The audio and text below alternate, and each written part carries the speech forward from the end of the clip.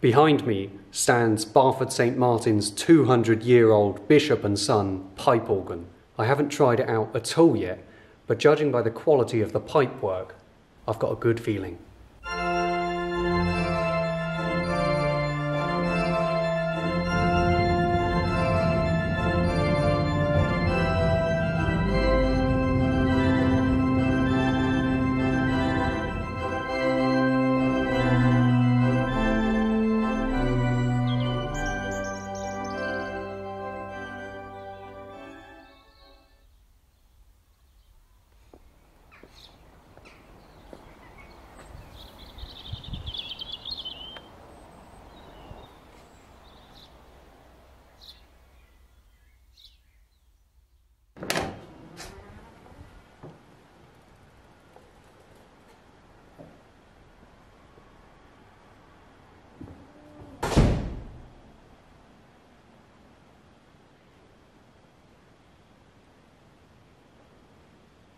This village, Barford St Martin, gets its name from the shortening of Barley Ford and from the patron saint of this church, St Martin.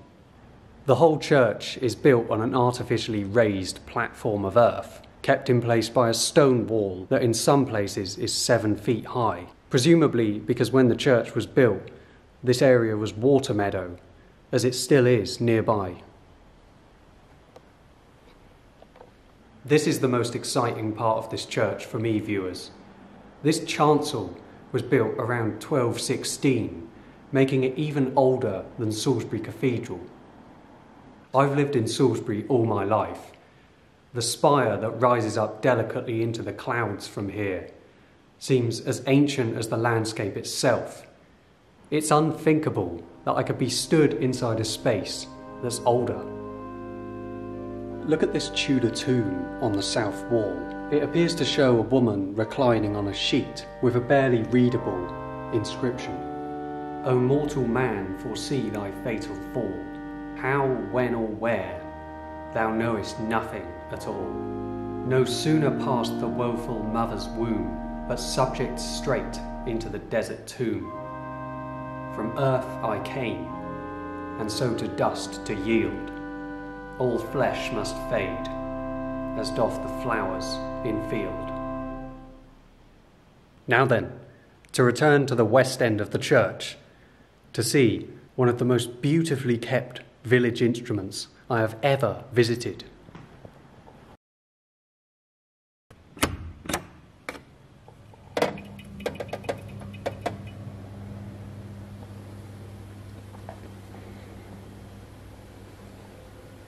I have not touched a single key on this organ, but already I love it. Wonder why? Well, there's one simple reason. Most church organs are hidden away in an aisle of the church. You never see the organist. Here, the story is different. The congregation walks in through the main door. Not only can they hear the wrong notes, they can see them as well. Let's get down to business then. This organ has two manuals and a pedal board. These are the stops but they're not normal stops that you pull. These are little tabs, almost like on a Hammond organ or something. You just press them down to get the sound. And already you can hear the quality of this machine. Let's make our way through these stops, starting with the trusty open diapason. The best comparison I can give is to a warm, rich cello sound.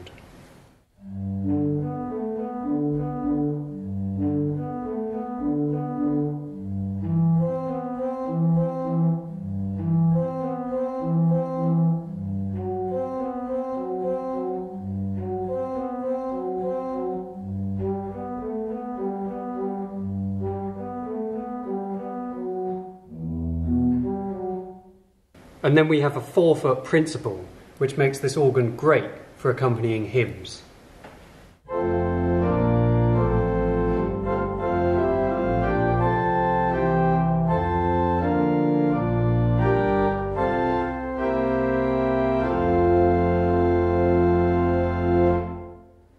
Looking up to the swell, we have an array of stops that make this organ sound really delicate playing Baroque music.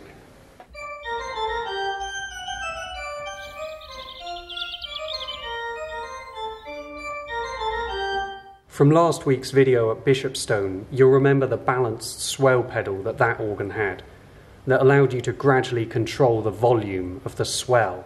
This organ has a slightly different design. It's called a ratchet swell, much more impractical, less flexible.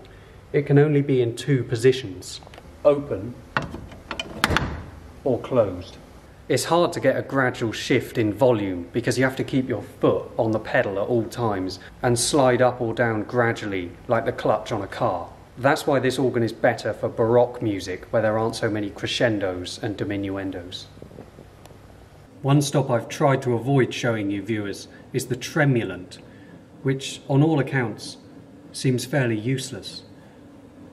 Normally a tremulant only undulates one part of the organ so that you can get a solo, like a solo oboe or something, with a slight vibrato to it so it sounds more lifelike.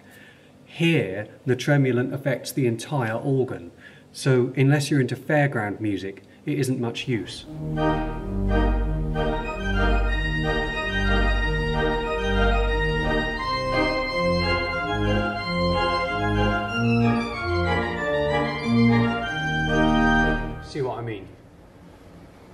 I must say, though, without a shadow of a doubt, this is one of the finest village church organs I've ever had the pleasure to play.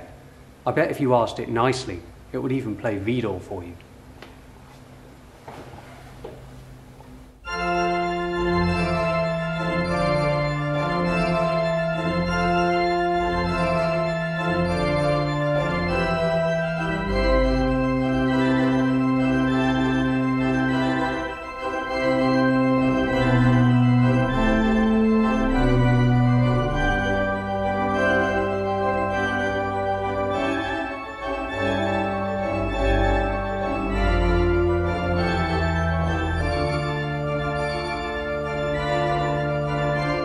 Yep, it can.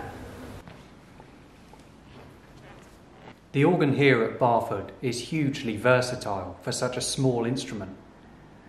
Its greatest hindrance, perhaps, is the echo in this church, or lack of. Even some of the grandest buildings, Christ Church Cathedral in Oxford, for example, suffer from a dead acoustic. The way to deal with that, in my opinion, is to play music that's smooth and sustained with very few gaps between the notes. Something as delicate as the pipes on this organ, or as beautiful as the hills and valleys of England.